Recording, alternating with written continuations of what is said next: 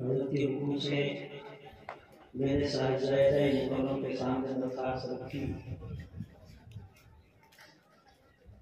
तो ये वो वक्त है कि जहाँ मदारस के इजलास की हमा हुई। लेकिन ये मेरे दिली ताल्लुक और मोहब्बत की बातें हज़रत के सामने मैंने जब साहब की। हुक्म की दरखास्त पेश की। तो हज़रत ने उसको कबूल फरमाया और रात को इस वक्त में यहाँ से हज़ारों मील दूर वहाँ बंगाल के किसी इलाके में थे। और रात को वहाँ से प्रोग्राम करके तीन बजे का सफ़र करके वहाँ से रांची पहुँचे, रांची से मुंबई पहुँचे, मुंबई से जोधपुर पहुँचे। और हमारे दरमियान तशरीफ़ फरमाए, ये शाम यहाँ पोखरण की सरजमीन पे की है, अल्लाह जाने सुबह कहाँ होती है कितनी रातें ऐसी बगैर नींद के बगैर, आराम के गुजारी। मैं चाहता हूँ कि हम जल्दी से हज़रत वाला का किताब समाप्त करें, महजूज हों, और फिर हज़रत को हम यहाँ से सफ़र के लिए रुखसत करें। बहरहाल, मुझे ये हुक्म हुआ है, चंद बातें कहूँ।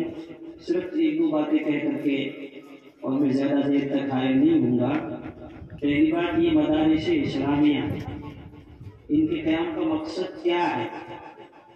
हम मदरसों में जो ताउन करते हैं, चंदा देते हैं, हमारे दिलों में होता है कि हम इनके ऊपर एहसान हैं। नहीं। आज से चंद साल पहले, यानी हमारे वाले साहब वगैरह, वो लोग यहाँ इस इलाके में जनाजे पढ़ाने वाले किसी आदमी को तलाश करते थे और उनकी सच्ची तरफ़ थी दसियों को दूर जाकर के रमज़ान शरीफ में कुरान पाक की जो है वो तरावी में सुनने की शहादत हासिल करते थे, कितने दूर। आज यही मदारस इस्लामिया और इन्हीं की देन है कि अल्हम्दुलिल्लाह, सुम्मा अल्हम्दुलिल्लाह, हर घर में मदारस इस्लामिया ने हाफिज कुरान दे दिए कुरान करीम पढ़ने वाले गाली दे दिए और कितने उलमा इकराम कितने हुफाज आज हर यहाँ सिर्फ़ राजस्थान नहीं, राजस्थान से दूर दूसरे सूबों में, बल्कि दूसरे मुल्कों में इन झाड़ियों से, इन खेतों से, इन खलियारों से निकल करके वहाँ कुरान करीम पढ़ रहे हैं और इसके फ्रेंस के चश्मा जो है वहाँ तक आगे निकल रहा है। ये है हमारा। और इसका इसका अंदाज़ा जब होगा, जब अल्लाह ताला की बारगाह में हाजिर होंगे और तुमने दो रुपए दिए थे फला के मदरसे में उनके लिए इतना सदका जारिया, इतने हाफिज कुरान, इतने उलमा, इतने मस्जिदों के इमाम, इतने कारी, इतने मौलाना, ये सब तुम्हारे खाते हैं। वहाँ मैं बुमनी में खिदमत अंजाम दे रहा हूँ। यहाँ अगर मुंशी फतेह साहब, या मौलाना अरशद साहब वहाँ तशरीफ़ लाते हैं तो मैं मस्जिद के मेंबर पर खड़े होकर सिर्फ़ ये कहता हूँ दारूम पोखरन की खिदमत 21 साल से मेरी शक्ल में तुम्हारे सामने ये मदरसे की है। मैं पढ़ रहा हूँ, मैं तुम्हें कह रहा हूँ, तुम अमल कर रहे हो। मेरे असात इकराम जो यहाँ मौजूद हैं, या जो कमरों में जाके सो गए हैं, उनके लिए सरकारी जारिया का ये इंतज़ाम है। मैं करूँ ना करूँ? तो बहरहाल, ये मदारस के क्याम का मकसद है, कितने बारिशीन अम्बिया पैदा हुए, और अलहमदुल्ला पैदा हो रहे हैं। और मेरे से पहले जज साहब जो बात कर रहे थे, ये समझने की बात है। मदारिस का मकसद दुनियावी तालीम नहीं। मैं मेरी बात का इजारा करता यहाँ चलूँ हमारे यहाँ दीन और दुनिया दो है ही नहीं। हमारे यहाँ दीन और दुनिया दो है ही नहीं। हमारे यहाँ दीन ही दीन है। खाना भी दीन है। तिजारत भी दीन है। चलना फिरना भी दीन है। मुलाकात करना भी दीन है। मामला भी दीन है। माशरत भी दीन है। सारे कामों को नबी सल्लल्लाहु अलैहि वसल्लम के तरीके करना इसी का नाम दीन ला रुबानियत फिर इस्लाम। इस्लाम में कोई रुबानियत नहीं एक चीज़ तो ये। दूसरी चीज़, इस वक्त में ज़रूरत है हमें इस्लामी माहौल में दुनियावी तालीम देना।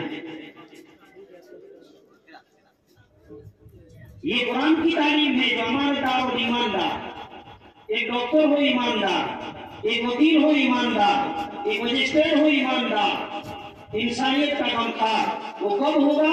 जब उसके दिल में कुरान होगा। नबी करीम सल्लल्लाहु अलैहि वसल्लम के अहादीस मुबारक तरीका होगा।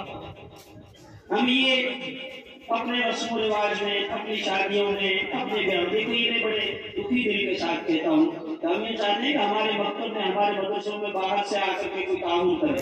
अलहमदिल्ला हमारे यहाँ ताउन सारा मकामी होता है अल्लाह को बहुत बढ़िया हमारे मदारिस की बहुत बड़ी कामयाबी है कि चंदा भी यहीं से होता है अलहमदिल्ला और हमारे मदरसों में पढ़ने वाले बच्चे भी यहाँ मकामी होते हैं। लेकिन हमारे लिए होता है कि हमारे मकसद में ज़्यादा से ज़्यादा बाहर से चंदा आए मस्जिदें भी दूसरे बनाए बकाते भी दूसरे बनाए हमारे हज़रत फरमाया करते हैं या जोड़ेले के खड़ा हो गए के साथ दूसरा में फला साहब है ना, उसके बच्चों के लिए कपड़ों का चंदा दे दो। उनके लिए गले का चंदा दे दो। हम बर्दाश्त करेंगे। बोलो भाई, बर्दाश्त करेंगे। हमारे बच्चों के लिए कोई कपड़े मांगे, हम बर्दाश्त करेंगे, बोलो। और अपने गले का इलाज करे तो हम ज़िंदा हैं, हम तो उनकी परवरिश करेंगे। तो क्या कुरान और हदीस और नमाज़, ये ऐसी चीज़ें हैं जो दूसरे आकर के हमारे इंतज़ार करें? हम नहीं कर सकते। अभी अभी हमारे यहाँ रिश्तेदारों ने हमारी शादी ब्याह के मामले में हमें तारीख दे दी। हम किसी तरफ़ से भी वो शादी ब्याह के मामले में हमारे वो खर्चे पूरे होते हैं, लेकिन जहाँ इमाम साहब का मसला आता है मतलब की तनख्वाह का नहीं होता सौ रुपए नहीं दिए जाते नहीं भाई, ऐसा नहीं।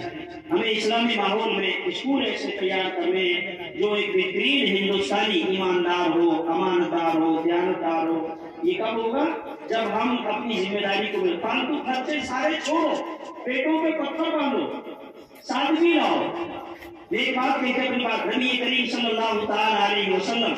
अल्लाह पाक ने जिनके तरीके को इख्तियार करने का हमें पाबंद बनाया, ये उंगली उठी, आसमान पे चाँद टुकड़े हो गया बैठे तो धरती को सुकून मिले। मुस्कुराए तो जन्नत के दरवाजे खुले।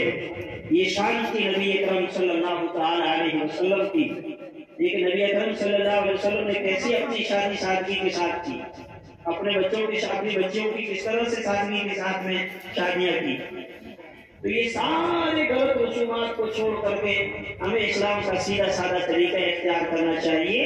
यही इस्लामी माशरा का पैगाम और हमारे अकाबरीन जो हमारे अल्लाह ताला सेहत और आफियत के साथ इनका साया कादिर कायम रखे अल्लाह ताला हमें इनकी कदरदानी की तोफीक अता फरमाए यही पैगाम है फालतू खर्चों को छोड़ो अपने बच्चों को पढ़ाओ आगे तक दीनी तालीम दिलाओ और इस्लामी माहौल में उन्हें दुनियावी तालीम दिलाओ ज़्यादा से ज़्यादा अल्लाह ताला हम सबको अमल की तोफीक अता फरमाए Thanks for watching. Don't forget to like, comment, share and subscribe to Al Wahid channel.